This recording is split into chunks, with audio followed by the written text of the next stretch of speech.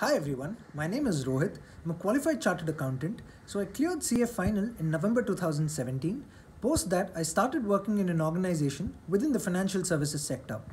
Parallelly, like most of the finance professionals, I also started pursuing CFA and FRM. I completed FRM Part 1 and Part 2 examination, and so far as my CFA is concerned, that has gone for a big ride thanks to COVID.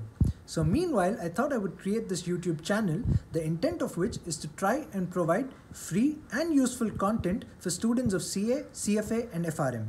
The topics that I initially wanted to at least start off with are the ones which at least I believe are a little difficult to understand on a self-study basis, which include topics like option valuation, interest rate management, foreign exchange, portfolio and so on.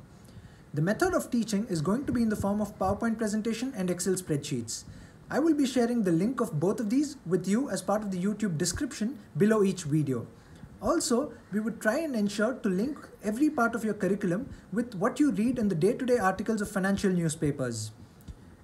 In case you guys have any queries or whether you guys want to give me any feedback, positive or negative, or if, if in case you want me to teach any topics other than the ones which I already mentioned, you could either leave a comment or send me a mail to the mail ID that I will be mentioning as part of the description below this video. It is cafinalsfmlectures at gmail.com. Thank you. I hope you join my journey and to make these little difficult topics not that difficult. Thank you once again.